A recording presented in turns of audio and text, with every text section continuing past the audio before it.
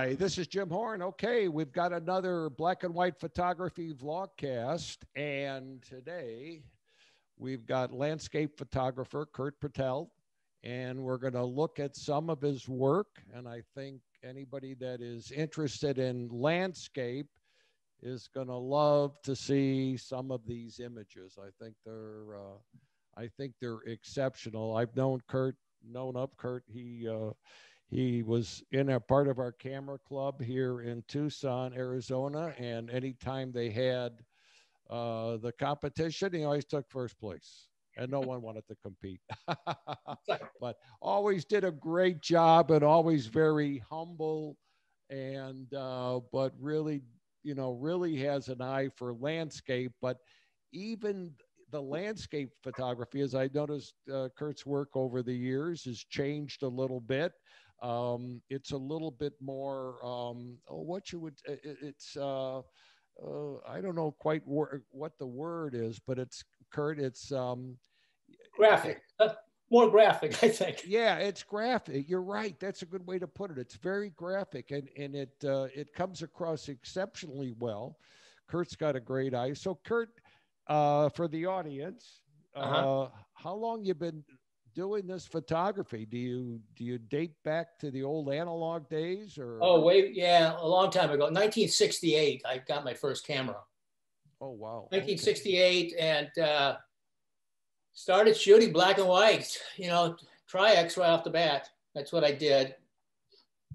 Okay, and so you were using. Uh, was it uh, was it a larger format camera or? Yeah, uh, I bought two Nikons. In Hong Kong, I was in Vietnam.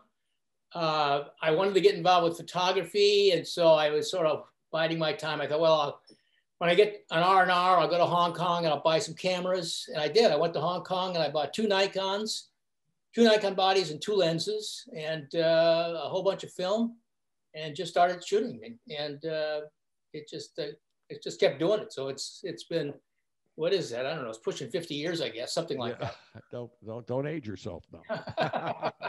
I try to avoid that. yes. Uh, so you you you did put you so you primarily worked in 35 millimeter. Yes. That, yeah. yeah. okay. Okay. Super. Super. And then you've evolved into the digital oh ev- i guess revolution or evolution or yeah not not all that long ago as things goes. I was a late adapter or adopter. Uh, i think 2010 or 2011 i got first digital camera. Um, i had been shooting medium format also though. I had gotten a medium format camera and uh, and shot that. I still shoot it once in a while. I got a digital a couple digital cameras and sort of the the film film priced me out of the market. Yeah. film and, and development. Uh, I came home from one trip one time and I was like, I was $500 in the film and, and developing and um, not developing, but printing and the whole, whole shit. Yeah. And uh, so I, my wife said, you know what, you could probably buy a camera for that, right? So I thought, well, I'll try a digital camera. And that sort of, I still look back because I still use film. So I still use 35, I do use 120. Uh, and I do other kinds of processing. I do uh, platinum palladium processing. Oh, you do? Wow. Yeah, platinum palladium, and then I've gotten into uh, uh encaustic on photography and and uh, cold wax on photography, and uh, I do also black and white pigment on vellum, kind of translucent vellum with gold leaf, layered with gold leaf. Kind of a specialty kind of thing, kind of like 19th century, they called it uh, orotone. Okay. They you use uh, uh, gold leaf on them, but different different kinds of things they try to do. Wow! Now, are you developing your own own film, or you you know? There's a place called Blue Moon up there in Oregon. I know that develops oh, yeah. film. Yeah. No, I usually send. Well, there was a time I did. I don't anymore. Uh, if I do black and white, I, I send I send the black and white out to a pro lab and have them develop it and print me a contact sheet and then if I want something, and I've been doing this way before I, I bought a digital camera. I mean, probably after 1990 or so, I was basically getting getting uh, contact sheets or basically doing transparencies. And then, uh, but from contact sheets, I would uh, I'd have prints made, and um, sort of the way I did it because I didn't have a dark room. I mean, I had dark room at one time, but that went away a long time ago. Yeah, so I didn't have access to dark room unless you know I went to a high school once in a while, used their dark room. So I did some dark room stuff also, but uh, I wasn't as much interested in dark room as it was in the in the uh, uh, the, the getting out and photographing part anyway. Yeah, I think the photograph, and I, I, had a dark room for a lot of years, and I think the photographing part, when you look at it, is more fun. Although I have gone back to analog, and uh, not totally, but as sort of a supplement. Yeah. Uh, to you know what I'm doing now and the projects that I'm sort of working on. So analog is, a, and I develop my own film, but and then scan it with my DSLR. That made it easy. Yeah, yeah. so, well, uh, when I when I do platinum, it's it's kind of interesting because you basically you you can take a digital a digital positive and make a platinum negative. So I make eight by ten negatives. Wow. Analog, but I print them on a computer. So so it's it's like you can go either way. You could you know you could take a digital, you could take a uh, analog negative and make a uh, analog print, or you can make a digital print. It doesn't matter. Okay, scan it and make a digital print. You could take a digital negative and make a you know make a positive, and then you can make another negative out of it and use the negative. That's what I do. I, I use these eight by ten negatives or bigger to make platinum prints, wow. which is which is an analog process. Okay, but I start with a I start with a, a digital negative, a 35 millimeter digital negative. Wow. And then I end up with an eight by 10 positive print, an eight by 10 uh, negative, which I then use to make a positive platinum print out of.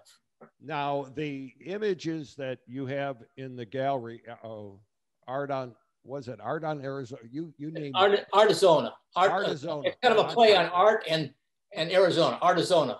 Now, do, are some of those prints the uh, the palladiums? Are some of those in the uh, no? Those, those are all no those are not they the person that runs that she she basically she basically curated that whole site so she basically picked all the images she wanted and she was interested in the platinum but she didn't want to confuse things I have too many different choices so she said well i'm going to just take some black and white straight black and white digital prints and we're going to we're going to put those on the website for the time being and then migrate from there Okay. So that's what she said. So none of them are on that site. Some of them are on, they're on Instagram. Some of them are on Instagram. Some of them, actually, some of them are, I think, on uh, uh, SmugMug. Uh, they're in different places. Okay, so so, and we'll put a link to uh, yeah. where um, where Curt's uh, images are. I think uh, I did look at his uh, SmugMug site, and there's a whole host of different kinds of images other than the images we'll take a look at uh, this afternoon. So, okay, you know what I'd like to do, Curt? I'd like to take a look at some of those images. So, if okay. you can bear with me, we're sure. We'll cut over. There we go. So, do you see this image? Yes. Okay. Why? So, this is out in the Palouse. And why don't you tell the audience what the Palouse is? Because a lot of people don't know.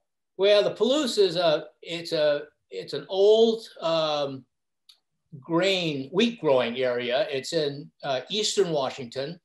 They've been growing grain there for well probably mid 19th century, maybe before.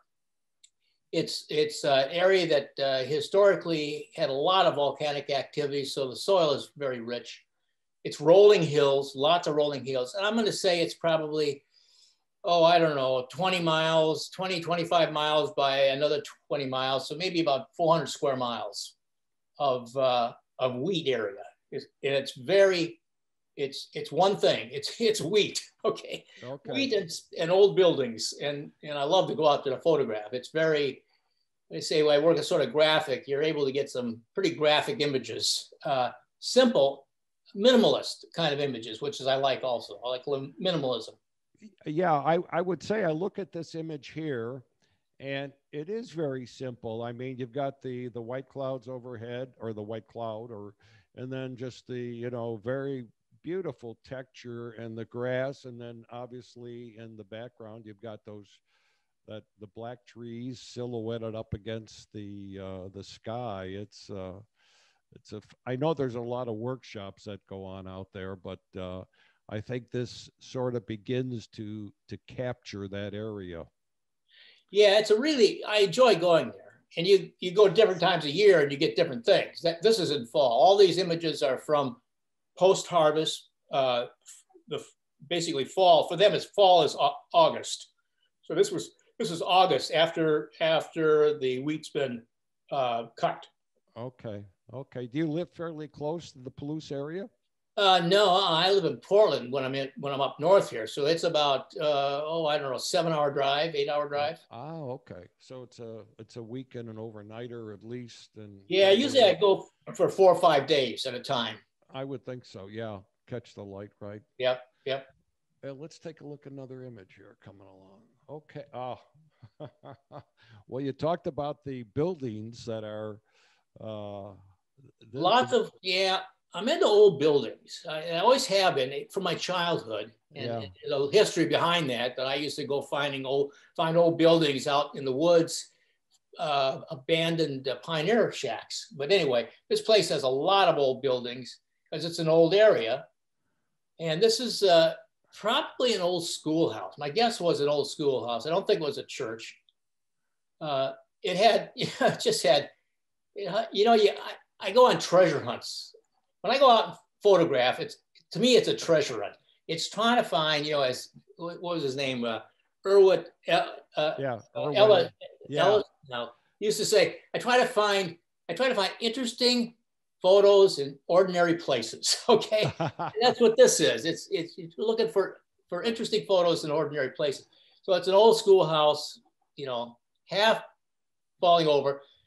On the right hand side, that's actually a uh, that's actually a truck frame holding it up on the right side.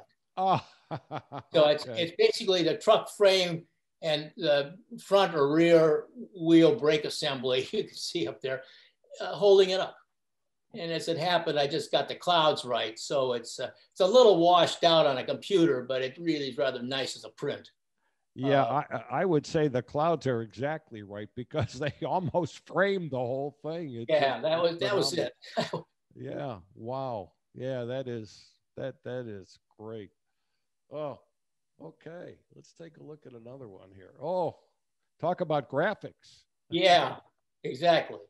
Is this part so the, the field by itself wouldn't be much. Um, I mean, it'd be it'd be okay shot, but the but the three or four puffy clouds on the horizon. I mean, oh. when I saw that, this was a you know moonrise over Hernandez shot. I, I slammed on the brakes because the clouds were all moving. Right. So I slammed. I saw the clouds, slammed on the brakes, ran out, ran up the hill, and took three or four shots before the clouds all disappeared. So it's it's uh, you know it's one of these you know image of of opportunity kind of thing. That's right. You got out of the car, and uh, I have yeah. seen I've seen Hernandez New, or New Mexico. It's a lot different today than yeah yeah when, when Ansel did his stuff. But you know I think that's what a lot of I I, I think what you're talking about here is is really stopping the car when you see a shot. And you know these these things come along and i think a lot of young photographers think you need a big plan or someplace to go. Oh. you, you really don't do you? No my you know i would basically i've learned over the years that that when i go to a place i go to a place because i think there's some opportunity to photograph stuff but i all the good shots are never i never think I, I, it's like I, I, I don't go there shoot them. I, I find them there. It's like that's why I say it's a treasure hunt. It's like you you the good shots you never are prepared for. You just have to see them and shoot them. It's not like you go there. It's not like you go into the Grand Canyon and you shoot the Grand Canyon. Everybody yeah. does that. Yeah. It's finding something that's happening at the Grand Canyon that you didn't ever expect. That's that, that's that's it. That's a good that's a good way to put it. And I like the uh, the metaphor of a, a treasure hunt. Yeah. Uh, because that's what it should be. And treasure hunts when we were kids were a lot of fun. Right? Oh yeah, I loved it. That's where I got my start. Is looking at old ruined buildings and in trash piles that somebody you know from the 19th century. And I lived out in a place that had a lot of that stuff. Uh huh. Find old bottles and broken knives, and that was just exciting to me as a kid. Where were you born? At, where were you born and raised at, uh, Curt? Uh, Western Oregon. Oh, okay. Up here, okay. yeah. So, so you know what? You know the area well. Yeah, yeah. Well, let's take a look at another shot. Sure. Uh, it, it, it doesn't make any difference what this is. It's just it's just beautiful. Well, that's the fields in fall. So the the white part are where the uh, the the the wheat has been cut, but it's not been the the it hasn't been plowed over. The dark part, the wheat has been cut, and then the rototillers have gone through there, the plows, and they've plowed it in, they plowed it under. So you got two things going. You got the dark is plowed dirt, and the white is what's left over after they've cut the wheat. Wow. Yeah. Now, did you sh- shoot this late afternoon, early morning, or the late afternoon? Late afternoon. Yeah, okay. pretty much late afternoon. Super. And, um, in fact, I've got each one of these shots could be a whole portfolio. I've got probably 20 or 30 or 40 shots of fields like this. So it could be a whole, it could be a whole portfolio or buildings, um, or, or, you know, clouds or whatever. There's, this is basically one of each of the subject matters that I photograph when I get to the Palouse. So there's, there's like four or five subject fields that I, subject matter that I look for, fields, buildings, uh, interesting cloud formations, weather, that kind of stuff. Wow. Uh, I was going to say I had uh, Melanie McWhorter on from uh, Santa Fe about three, two weeks ago, three weeks ago, and and had another guy from a street photographer from New Jersey on last week. Uh, he was he had done a book, and Melanie was sort of a photo book, and not sort of, she is a photo book uh, consultant. And I was just sitting here watching these. And uh, uh have you ever considered a photo uh, photo book of some of the Palouse stuff? Or yeah, I have. It's uh, there's a lot of stuff out there. Uh, yeah. In general, the the Palouse gets photographed a lot. Yeah. The trick is finding an image. It's like anything else. It's, it's like finding an image that is sort of unique and interesting that nobody else has seen before. And I've got some like that. But uh, I mean, I've thought about putting them into a book. I just haven't gotten around to it. But yeah, well, it, it takes. I I put a book together for out it, out in uh, Traverse City, out in Sleeping Bear Dunes. But it takes a, a lot of work. It does. not, yep. It and you got to know. You got to you know. It, it, yeah, takes a lot of work. So anyway, I'm going to go on. This one, sure. I this one is on your SmugMug, and I love this one. Yeah. I mean, this is almost this spirit. Is, this is almost spiritual. it's what I I thought so too. This is another slam on the brakes. We were going somewhere else. I was with another photographer. Yeah. And we were going early morning, I mean, six o'clock, something like that. And we were we were going we were going from point A to point B, which is 10 miles away. And we drove by this thing and I said, Oh, hold it. Slam on the brakes. This is the shot. Actually, this is the shot of the trip. And it was like, how do you, you, you can't expect something. Now it's not even there anymore. It's gone. You know, it's one of these things where, wow. hey, I shot it. It's not there anymore. Wow. Uh, so what is it? Well, you know, I call it I call it Circe's gate or Circe's door or Circe's gateway. It's you know Circe, the god of grain. And my guess is, in, in fact, I got about hundred shots of this. I stayed there for two hours photographing this thing. We spent all morning photographing this, trying to wait for a gust of breeze oh, to move the curtains. Uh huh. And not too much, just enough to photograph. And I got a hundred bad shots of this and a couple good ones, but the whole the whole idea was to get the the curtains moving a little uh-huh. bit, but not not flapping in the wind like a flag. And uh, oh, wow. it just took hanging around for for uh, for a couple hours. You you actually hung around for a couple hours. Oh yeah, I was there two hours at least. Wow. As I say, it's it's not there anymore. You can't go yeah. back to photograph it. It's gone. Wow. Now my guess is people have said, you know, I, I particularly like, I think it's very spiritual. Oh. And it's, you know, oh. it, I often say, I try to photograph things that aren't in the image. And people look at me a little crazy, but that's what I'm trying to do. I mean, the photograph is of a little gateway someone built. Okay, Right. what what what's the content? I mean, what why is it there? What does it mean? Nobody knows. You sort of build your own scenario, but my guess is maybe somebody, you know, the daughter of somebody that owns the land decided to have her marriage there or something. Yeah.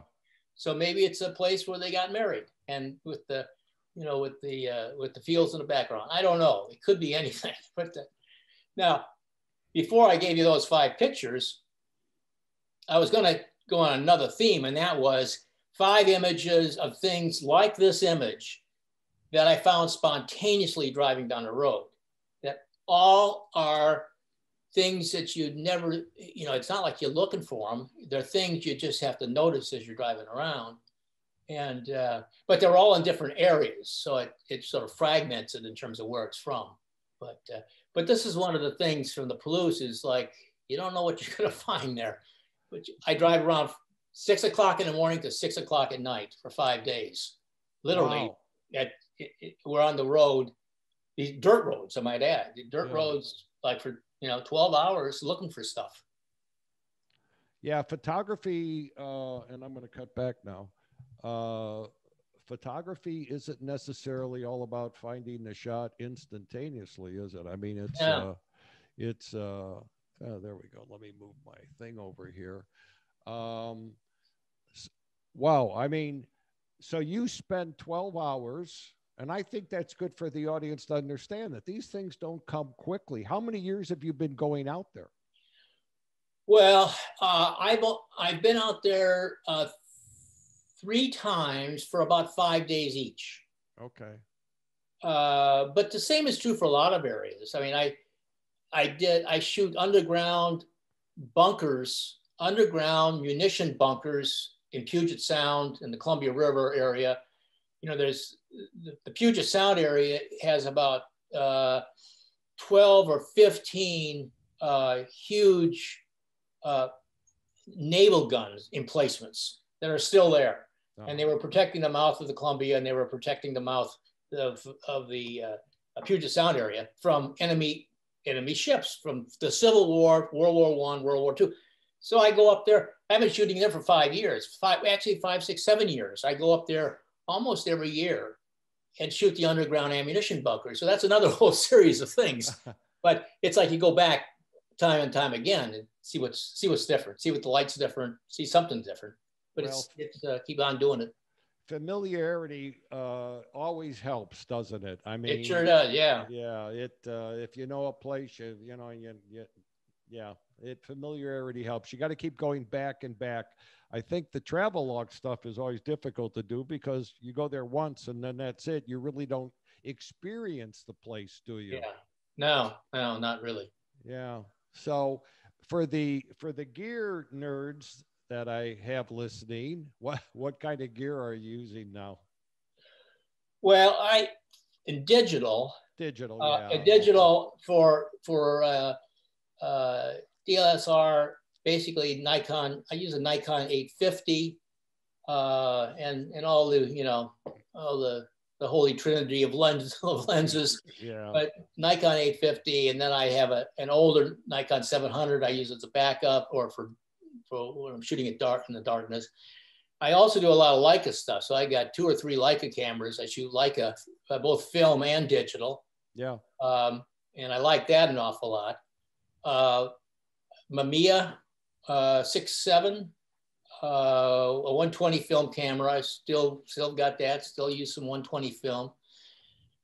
Uh, I, That's good. It's like I don't get rid of anything. So it's not like I have them as equipment. I just have had a lot of years of being able to buy. It. but but really, the equipment that you've described, you don't need to get rid of, right? I mean, No, it'll no. last forever. yeah. The, the, the D seven hundred was my first digital camera, and uh, I had a couple in between, but I gave you know got rid of them because they weren't much good. But D seven hundred I love. It's just uh, you know twelve megapixel camera that you know just does it. so whatever. You, you know, that's funny. I mean, I think we've gotten a little megapixel crazy, and uh, I, you know, 12, 24, 20, it all seems to do the job, doesn't Oh it? yeah, exactly. Yeah. It's you know it's not. I'm not a. I'm not a, what they call them pixel counter. I'm not a pixel counter. Yeah. The other thing is I'm not a, about absolutely perfect images. I mean, and that's not that's not a bad thing. You can be a photographer and have a goal of perfect images, but you know, I, like to say, Ansel Adams had a saying that uh, the worst thing in the world is a is a extremely sharp image of an extremely foggy idea. and, You're and, right. uh, and I sort of subscribe to that. It's not about having a perfect picture. It's having a perfect, you know, it's having an image that has some interest, I think. So. exactly. You can always work it in the dark room and make it work. And, yeah, uh, you know, you, it sort of brings out your vision. Exactly. Fortunately, today we're in the, you and I, and we're obviously analog guys, but we're in the digital world now. I always yeah. find it easier to when I scan the or when I DSLR the digital negatives, uh, the workflow in the post is a lot easier than when we were in the dark room. oh, absolutely. yeah, no, absolutely. You know, you were pretty much stuck. Uh, well, I mean, you could do obviously you could do cropping, you could do some burning, and you know, you, you got people that were cutting. You know, they were cutting. Uh, uh, templates over things to you know to, to dodge and burn and layers. I mean, basically the darkroom yeah, exactly. layers. you, you, know, and uh, people that never were you know they've never done film, you know, but they do they do Photoshop. They know layers. Well, they did layers. They did layers in the darkroom too. They just did it with cutouts. So that's right. It took a lot longer. yeah, sure did. A, a lot longer. Well, Curt, I certainly appreciate this conversation. I appreciate you appreciate you coming on. And this will sure.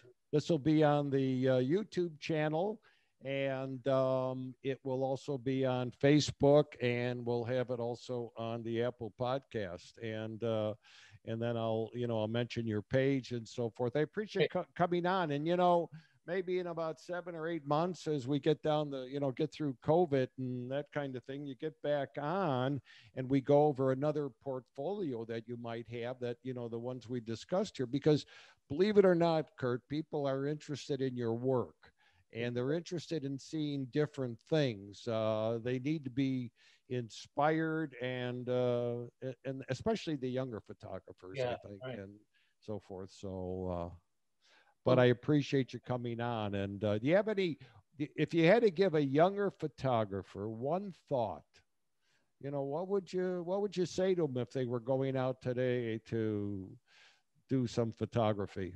Well, you know, the, it's like, it's not, a lot of people have said this, but I, it takes a years to sort of believe it. And that is, it's, it's really just about light, not about equipment, not even about composition. It's really about light. So you need to go out at times when sometimes you don't want to go out because I mean, the, the, good light can be when it's raining. Some of my best photos have been done in storms where there's a, a leading light edge or a trailing light edge where some things are lit, some things aren't lit. And uh, so it's, it's uh, you know, you got to go in different weather and you got to look at light. That's, that's, that's, that's what I think about. Now it's nice to be in a place where there's some interesting things too. Okay. I hear you. Well, that's a that's a great recommendation. Listen, you uh, hang on the line here, but anyway, you uh, you take care, and I'll end the recording, and uh, we'll go.